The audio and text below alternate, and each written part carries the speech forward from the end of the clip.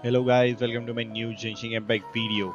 Guys, in this video, I'm gonna talk about the Yoimiya's build, team, and everything. I'm gonna just talk about the Yoimiya's F2P friendly build, also a proper build uh, with 5 star weapons and the 4 star weapon and the free weapons. Uh, I'm gonna talk about every artifact, every now, artifact set piece, 2 piece, 4 piece, and the teams everything i'm just not gonna talk about everything related to yoimiya so if you want to build your yoimiya and you want to know something or everything about no Yoimiya, so stay tuned till the end, guys. Let's start with the gameplay. Yoimiya is a 5-star Pyro DPS character. Uh, Yoimiya wields a bow as a weapon. Yoimiya deals maximum damage in her normal attacks, normal attacks which deals pyro damage in elemental scale. In charge attack, no, normally he de she deals pyro damage but not so high. But in elemental scale when you activate elemental scale your uh, normal attacks gonna turn into pyro attacks. And when you perform normal attacks from bow Yoimiya deals pyro damage. In elemental burst you just uh, mark the enemy and after every after two seconds uh, the enemy will deal a slightly um small amount of damage. And the elemental burst is not that great but yeah it's there. So Yoimiya deals pyro damage and everything is scaled on the attack percentage and pyro damage bonus. Maximum times Yoimiya perform better doing the elemental reaction, vaporize and the and the melt reaction. Now let's talk about the weapons that weapons that you can use with Yoimiya. I already make a separate video uh, talking about the top 5 star weapons and top 4 star weapon but in this video I'll just give you a brief uh, on the weapons use only those weapons which provides buff to uh, elemental skill or the normal attacks or those weapon gives huge amount of attack percentage. And if you're gonna use the 5 star weapons use those weapons which boost Yoimiya's normal attack and elemental skill at the same time gives Yoimiya's either a crit rate or a crit damage to maintain a perfect crit ratio on Yoimiya I'm having these weapons like in the 4 stars Rust and the Hamayumi are the best. Hamayumi is a free F2P weapon. You can actually forge this weapon in the game. It's a Inazuma forgeable weapon. It's very good weapon. It boosts your normal attack and gives you tons of tons of attack percentage. Rust will uh, do the same. You have to wish on the weapon banner or the character banner in order to get this weapon. It gives you a tons of tons of attack percentage and boosts your normal attack damage. In the 5 star, there's a many weapon. One is the Polar Star, second is a Thunder, Thundering Pulse, and you can also use the skyward harp. Skyward harp is also very good on Yoimiya you can also use Amos bow on Yoimiya Amos bow is also very good.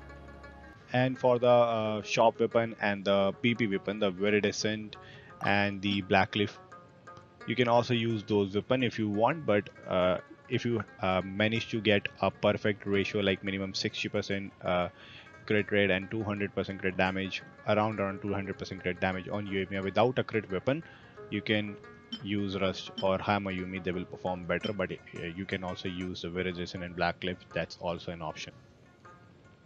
Uh, now let's talk about the artifact set. Uh, uh, let's just quickly I just quickly tell you that there's a two artifact sets in the game two four piece artifact sets in the game that's are perfect for Yoimiya.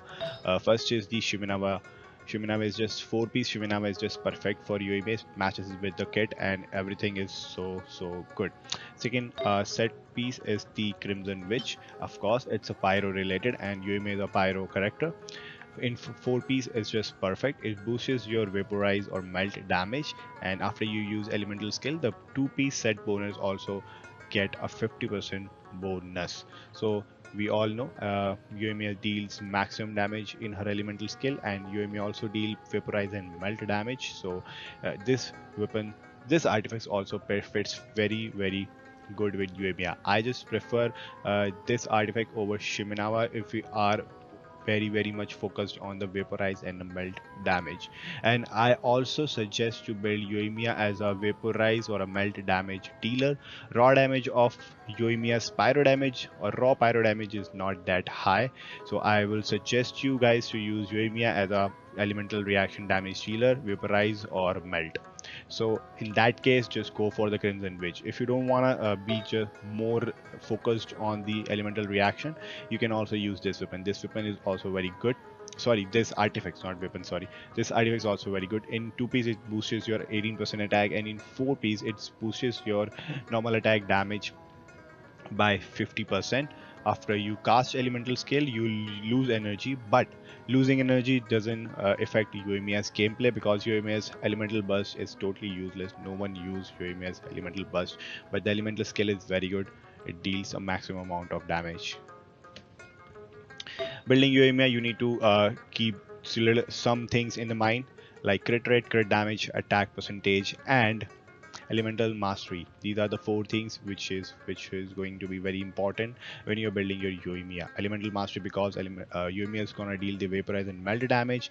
Crit rate crit damage or attack percentages is because Yoimiya is a DPS character. You need those percentage high in order to deal with high damage. Uh, in flower we are going to give the h percentage. In feather yes attack is the is the one. And in sands we are going to give the attack percentage. No elemental mastery no attack no energy recharge here. Just give attack percentage which is a pretty good amount of elemental mastery crit, crit, crit rate or attack percentage. In goblet the pyro damage bonus is going to be the only option. And in circlet either you are giving crit rate or the crit damage depends on your crit ratio.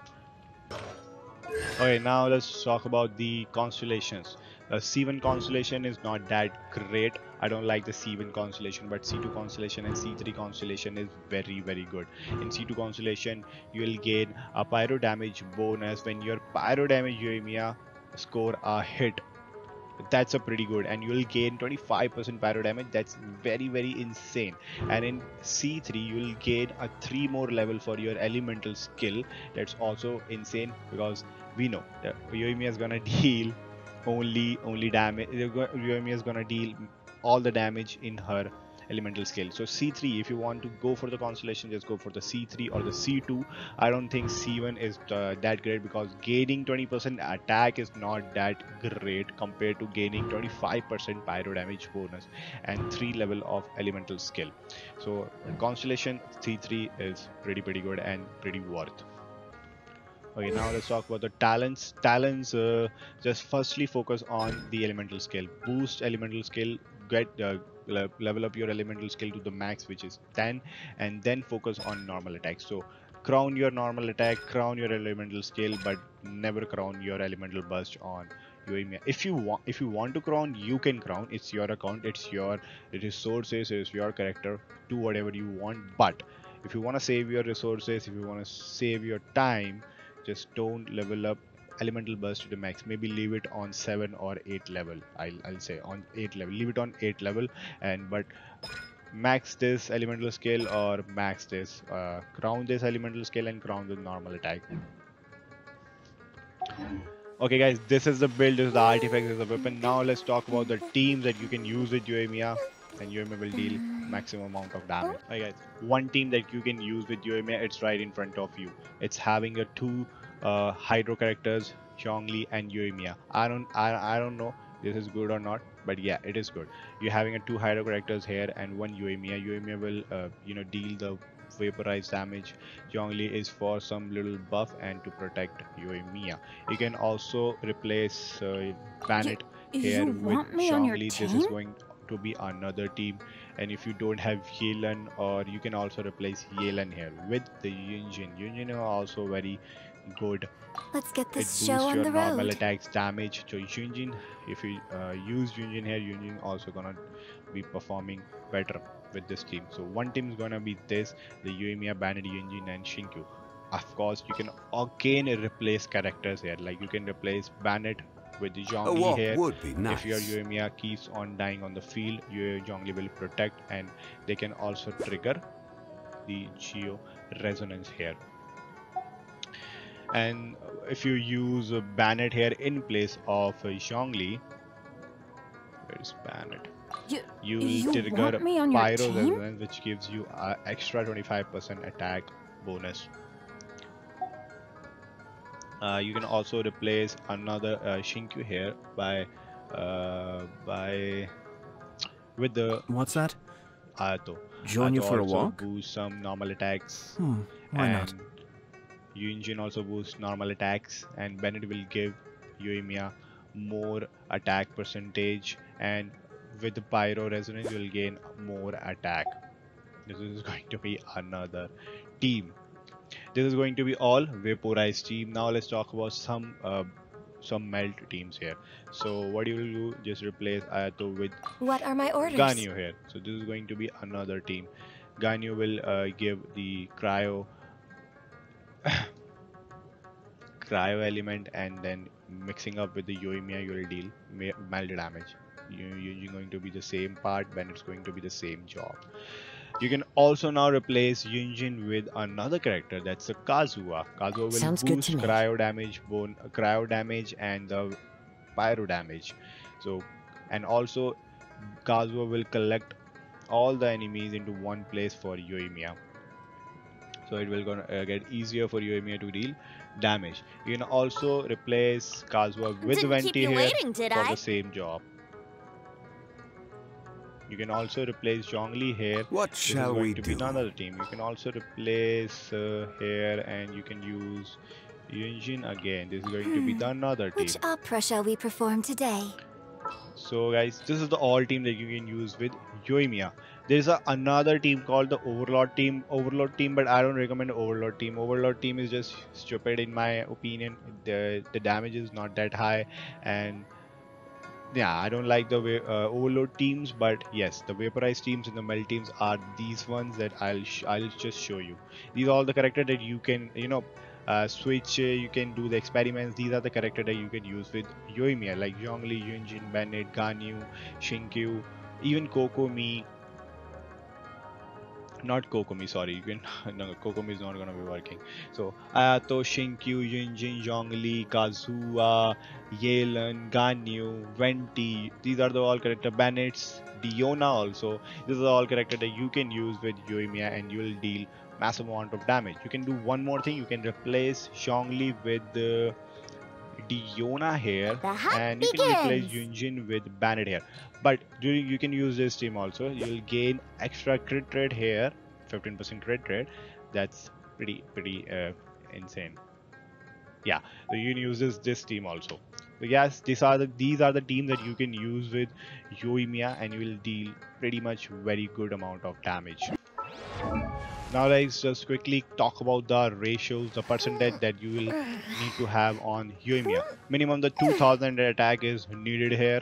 Okay, any DPS character which is related to totally on attack percentage like that character is totally dependable on the attack percentage. Scales only on attack percentage like uh, Ka, like Xiao or any other character like uh, Ganyu. You'll need minimum of 2000 attack here, like 2000 attack without any buff, without the uh, weapon refinement buff nothing without any character buff without any resonance uh, elemental resonance buff you'll need minimum of 2000 attack here my UAM is on 70 level and the weapon is also on 80 level. That's why i'm not having 2000 attack here but minimum you need a 2000 attack here you're also gonna need some of elemental mastery here. You're gonna need a minimum of 100 elemental mastery if you're gonna deal a very good amount of damage. Uh, you can also fix this problem by using some characters like uh, you can use elegy with Yoimiya. Like you can use Yelan with Yoimiya and give elegy to Yelan so Yelan will give you around some this weapon will give you some 60 elemental mastery uh, or 100 elemental mastery like 160 elemental mastery that this weapon can give you that's uh, that's very that's pretty good. That's why i love this weapon and then you'll need a ratio. You minimum you need 60% crit rate here. The UE is essentially uh, you'll get crit rate from the UE's ascension Yoimiya's ascension. You will get crit percentage so you'll need 60% minimum crit rate here. And if you get to manage to have like minimum minimum minimum 180 crit damage. So minimum 60 crit rate and minimum 180 crit damage is needed. No energy recharge needed no uh, even if you're gonna use the elemental burst elemental burst only costs 60 your elemental burst will gonna charge very quickly. You don't need gonna need any energy recharge here. The, the elemental the particle generation rate is also very good the energy generation is also good on Yoimiya beside the fact that Yoimiya's elemental burst is totally useless but yes you can still use with the minimum like with the very less energy recharge Okay guys, so this is the video. This is the everything I know about Yoimiya as a team, the everything. If you want to use the Dendro team also, I'll I can suggest you one Dendro team also. It's a version team you can use with Yoimiya, but I don't know that uh, how the team going to be. But yes, you can use that team my It's personal favorite team is this with Yoimiya. Like I, I nowadays I use this team. I don't know I'll if treat this team wounds. is uh, good or not. Time to See, broaden this is the team horizons that I use with Yoimiya. Baizhu here, nahi does. I don't know why Baizhu is here. We can uh, replace the Baizhu with another guy. Never mind. Baizhu is here and uh, Nahida is here. Baizhu is purely here in this team, not for any buffs, but for the protection or the healing and third thing for the dendro resonance. Why dendro resonance is important here? Because dendro resonance will give you around uh, how much? Uh, 50 and 30 50 and 30 uh, is 6 70 80 80 elemental mastery. Uh, the other 20 you will not get. Yeah you will get ah you will get you will get the other sorry so you will get 100 elemental mastery from here. So you'll get 100 elemental mastery from here. You'll get uh, 200 something elemental mastery from Nahida. That's going to be 300 elemental mastery. You're gonna get around around 150 elemental mastery from the elegy so around around 400 ele- ele- elemental mastery you're gonna gain. Your Yoimiya is gonna gain 400 ele- elemental mastery. Then Yoimiya will trigger two reaction first is the Burgeon second is the Vaporize Yoimiya will also trigger uh, Yoimiya, not Yoimiya, but Yelan also gonna trigger Bloom reaction. So this team will perform very very good. If you wanna use Pyro with the Dendro only, this gonna team is good. I don't know how Yoimiya is good with the Dendro characters or how much is Burgeon reaction is good. Like I don't like the Burgeon reaction, but I like using this team because either you're having like 400 elemental mastery without giving any elemental mastery artifact or weapon on Yoimiya and you will also deal vaporize damage because you're using Yoimiya and Yelan. Uh, so yeah, this is the team. This is not the ideal team, but yeah, you can try this team and see by yourself that how good this team this team is uh, gonna perform. How good this team is gonna is performing on the field. I just use this team as a fun for fun, like for exploration and killing the world bosses and all. Alright guys, that's all I know about Yoimiya's uh, the elemental skill, the burst, the build, the artifact, the weapon, the constellation, and the team. Everything. Uh, uh, Yoimiya is very easy to build. Like there's no, uh, not very much headache or something. It's very easy to build, and the weapons availability is also very good. That uh, the free weapon is also available. The F2P weapon is also available, and the five star weapons is also available. I already told told you about the four star weapon and the five star weapons. So Yoimiya is a very fun character. If you're going to pull Yoimiya, so uh, uh, right now it's totally worth. Like this elemental skill you need is just very good. Like um, uh, just imagine some enemies are flying up there like a thunder manifestation. You can kill that bastard also very easily.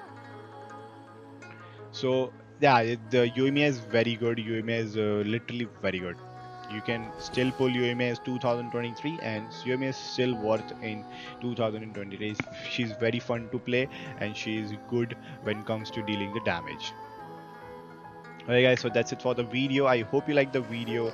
If you do, share with your friends, like the video, and if you have any question related to Genshin, you can comment below. And if you think I said something wrong, you can also correct me in the comment. And guys, share the video and subscribe the channel. We'll meet in the next video guys. Till then, bye bye, take care.